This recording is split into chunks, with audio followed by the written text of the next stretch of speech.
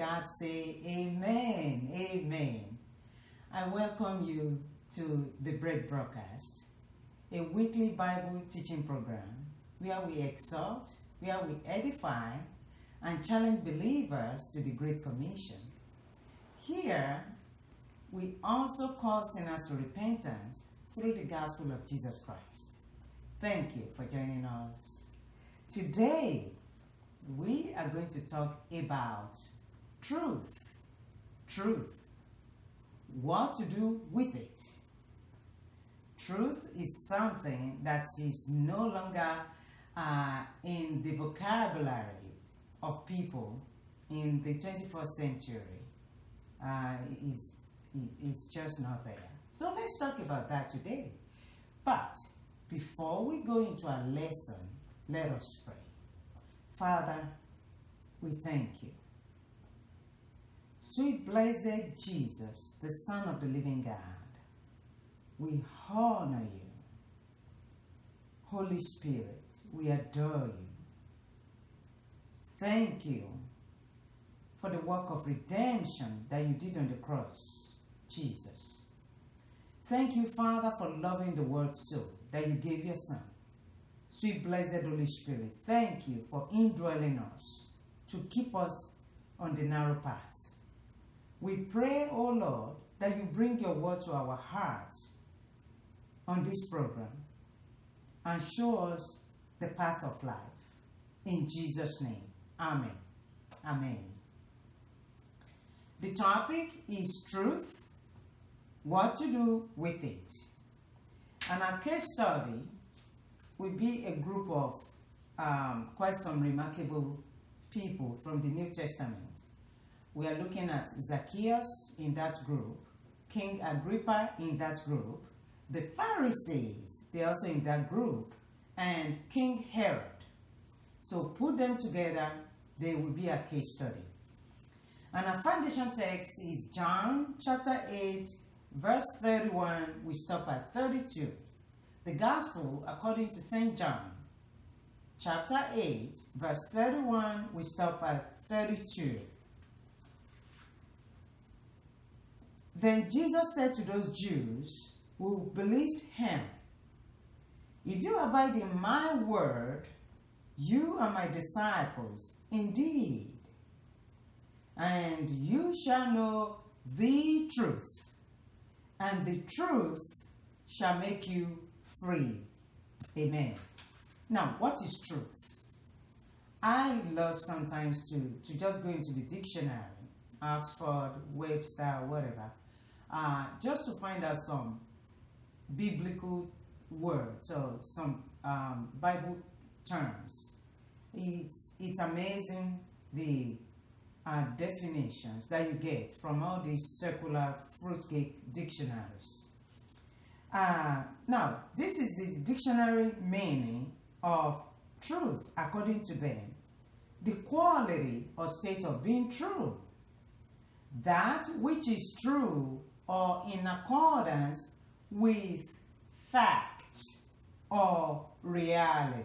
You see, now there's problem with that. A fact or belief that is accepted as true. Now let's look at biblical definitions of truth. And the best one I found was from uh, Grace to You, John, uh, John MacArthur, Pastor MacArthur. I love the way he said it. And I quote, truth is the self-expression of God. I like that. Jesus said, I am the way, the truth, and the life. Truth is ontological, that is a state of being. It's not evolving. No, it's just the way, it's always like that. That is, reality is what it is because God declared it so and made it so. You see, that is reality. Therefore, God is the author, source, determiner, governor, arbiter, ultimate standard, and final judge of all truth. I like that. End of quote. For example, in Exodus chapter 20, God was speaking to the children of Israel, Thou shalt not. Why? Because I am the Lord. You see, He's saying, Thou shalt not, because I, God, said so. End of story. You see. So, what do you do with truth? Number one, you can receive the truth. Zacchaeus, one of our, our, case study, although appeared wealthy on the outside, people look at Zacchaeus, he had a nice house, he's got fat bank, bank account, he got it together, so to speak. But on the inside, he had a famished soul, you see. Zacchaeus represented the repressed class, you see. And I thank the Holy Spirit who gave me the example of Zacchaeus because uh, most of the times uh, Bible teachers tend to use the poor in the in the Bible, and uh, uh, some unbelievers they, they, they picked on that. Like why why is it that everybody has to be to be poor? So that means if I come to Jesus, I'm going to be poor. And I loved it because the Holy Spirit gave me this. Zacchaeus was a wealthy man, but very poor in the spirit, you see. So he was a repressed individual spiritually, you see. However, Zacchaeus sought to see Jesus as Jesus passed by, as Jesus is passing by right now, as you are listening and watching me. Jesus is passing by right now because you are listening to his word. Zacchaeus received Jesus into his house and retained God's word in his heart. Zacchaeus reacted to the word which he heard by paying back those he had cheated, you see, and shared his wealth with the poor. A truth that did not elicit a change that is consistent with the Bible in your behavior is a truth that is yet to be received in your life. You see, when Zacchaeus received the truth of Jesus into his life, something changed on the inside. And that change uh, uh, uh, appeared on the physical in the actions that he took. Let's go to Proverbs chapter 28, verse 13. Proverbs 28, 13. It says, He who covers his sins will not, will not prosper. You see? But whoever confesses and forsakes them will have mercy. You see? When you have received the truth of Jesus' word, you will confess your sin. And not only that, you will forsake them. You will walk away and change direction. You see, that is what it means to have received the truth. To commit to Jesus is to submit to freedom. To commit to Jesus is to submit to freedom. Moving on. You can not only receive the truth, but some people will resist the truth. I'm sorry, restrict the truth. You can restrict the truth. King Agrippa came face to face with Apostle Paul. Agrippa, listen, was an intelligent but corrupt and immoral king. He represented the ruling class. Wow, that reminds me of some people in this land, huh? Agrippa was confronted with the truth. He was convinced of the truth.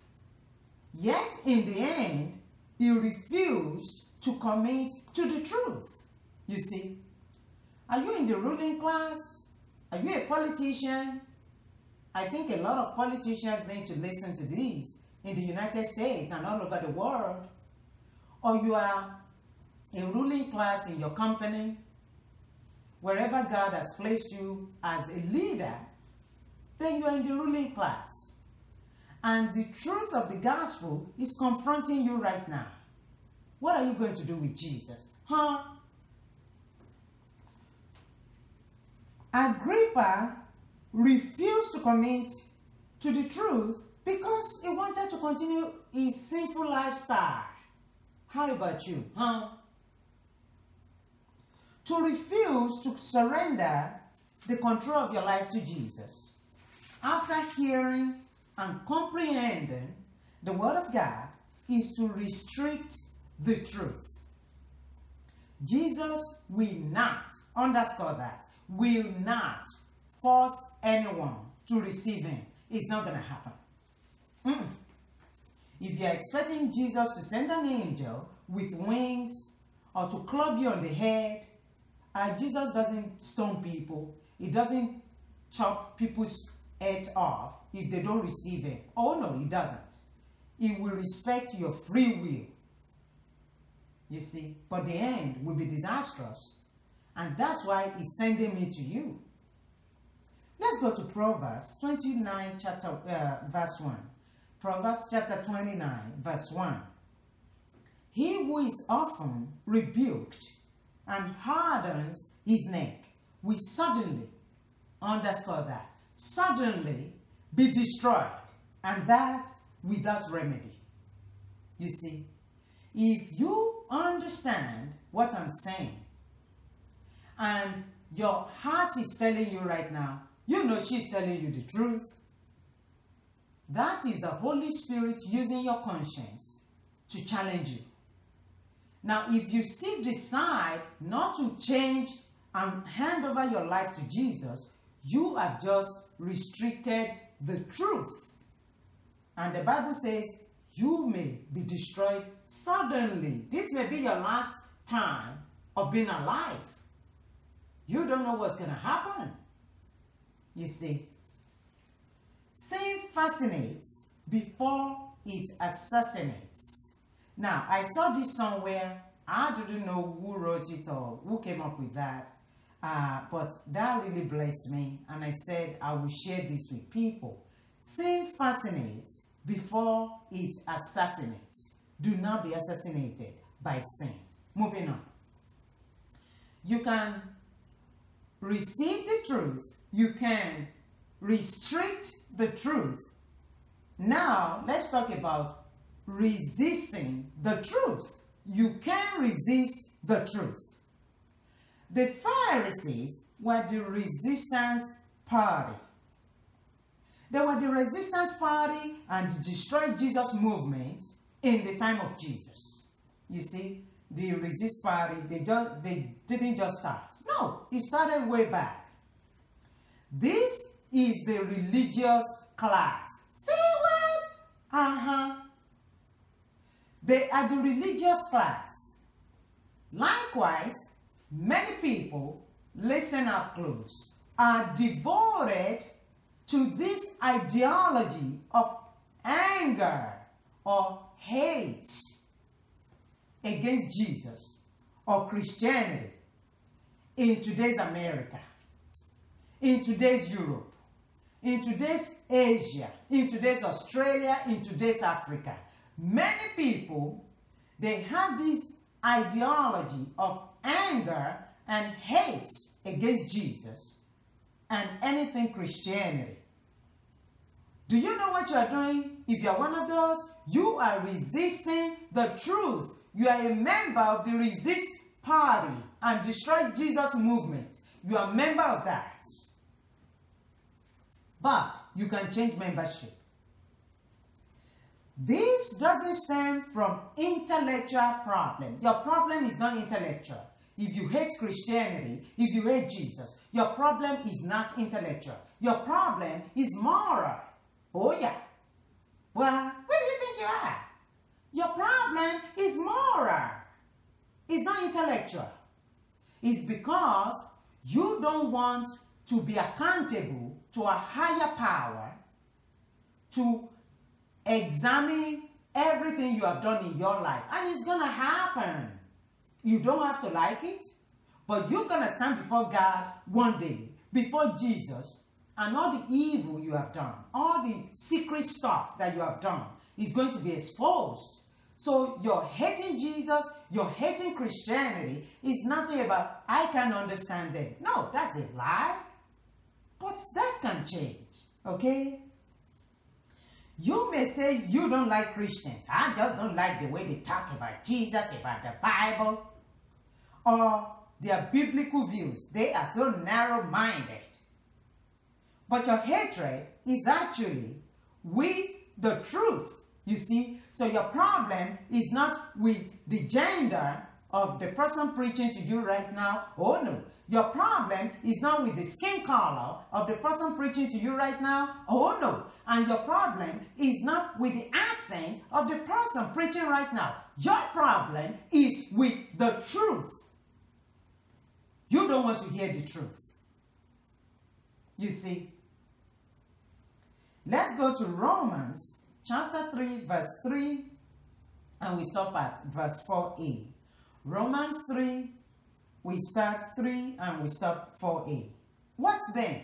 Listen up. The Bible is talking to you. I'm not. Jesus is talking to you.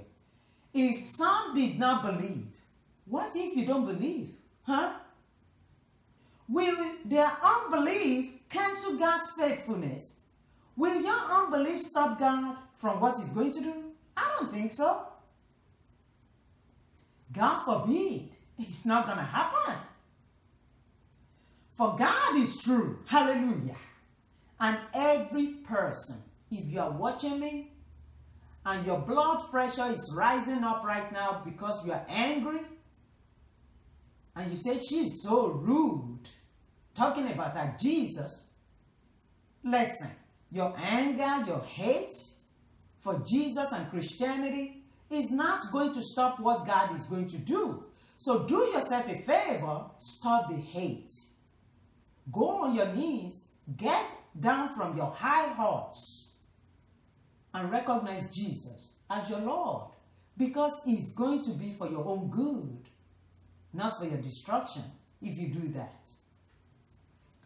To strut with the word is to be struck with the word to crush your word.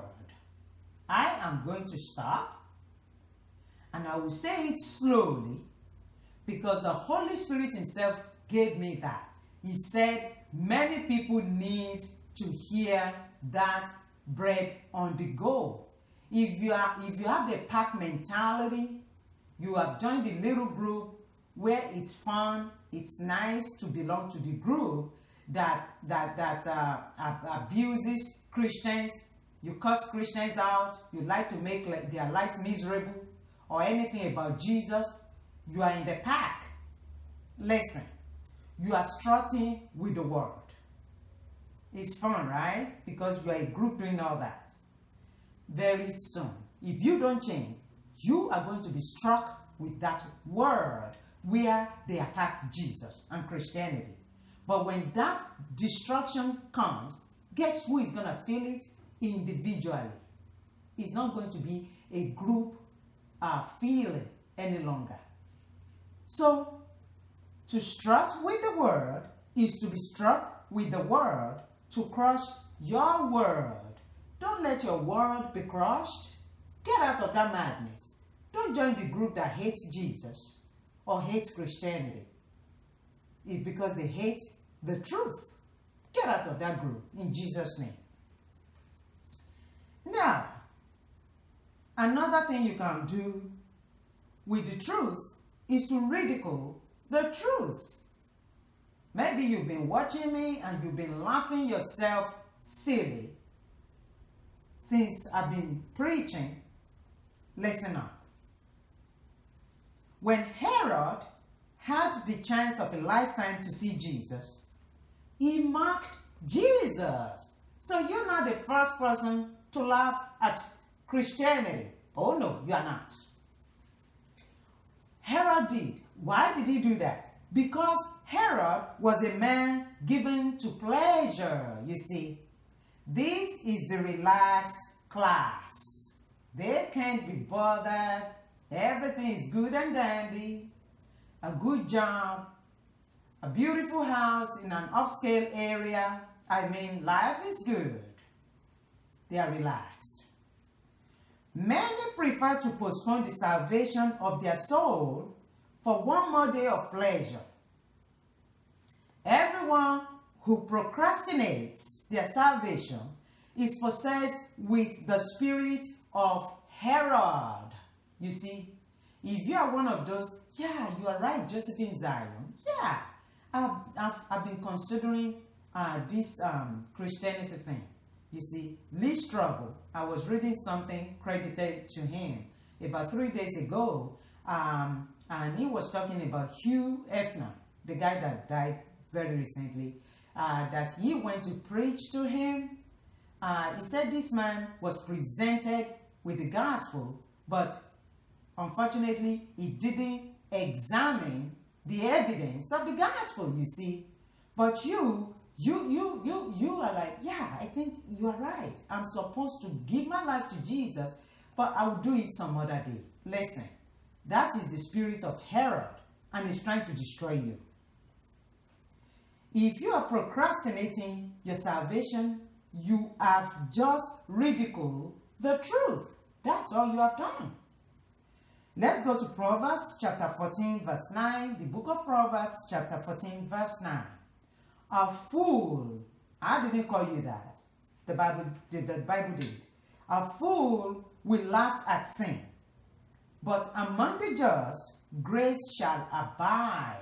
If you know, if you have any idea, the devastation that sin brings to people's lives, spiritually and physically, you will not want to wait one more second to turn your life over to Jesus Christ.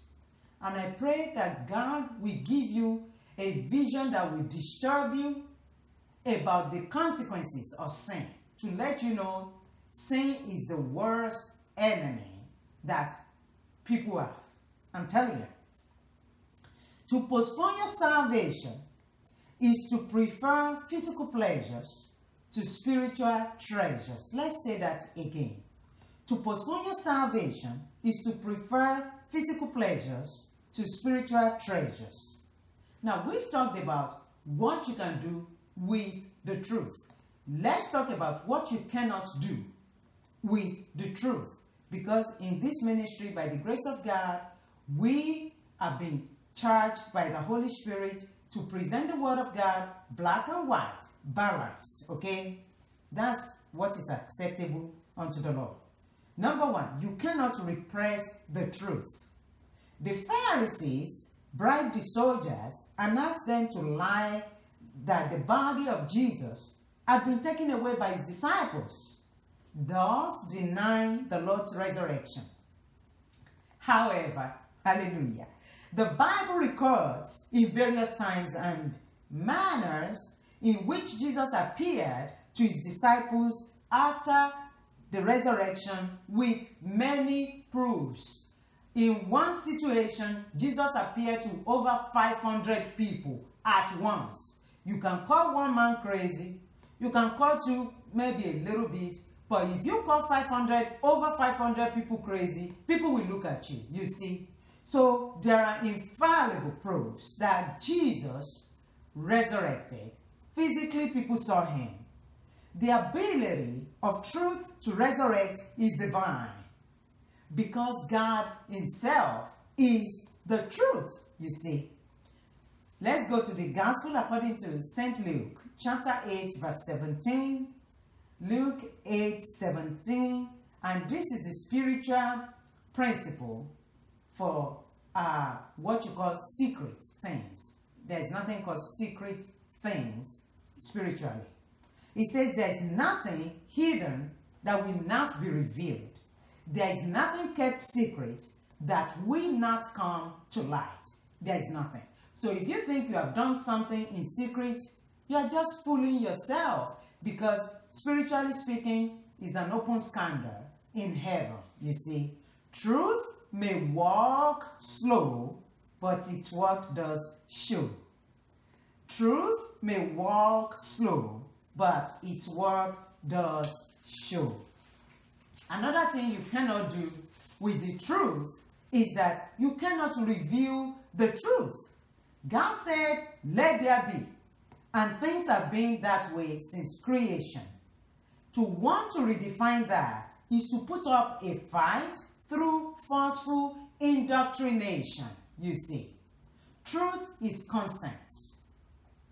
A woman is a woman physically, anatomically, and emotionally, period. Sometimes when I get on the phone, especially in the morning, and uh, the person on the other end, they, they're saying, yes, sir. Because my voice is, can be really deep when I first get up in the morning. Uh, so you can mistake my voice for a man's voice when I'm talking at a low octave. Uh, if somebody is a blind individual, they may not see my physical feature.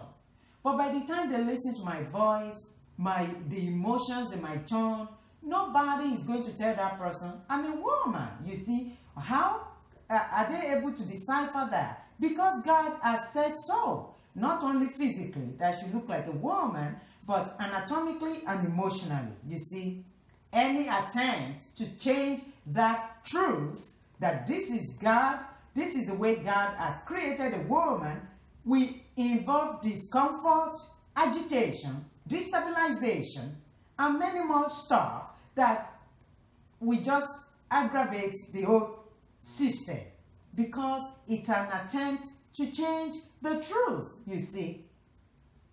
2 Corinthians chapter 13, verse 8a. 2 Corinthians 13, 8a. For we cannot do nothing against the truth. End of story. We cannot do anything against the truth. God said, let there be, and that's it. You cannot change it.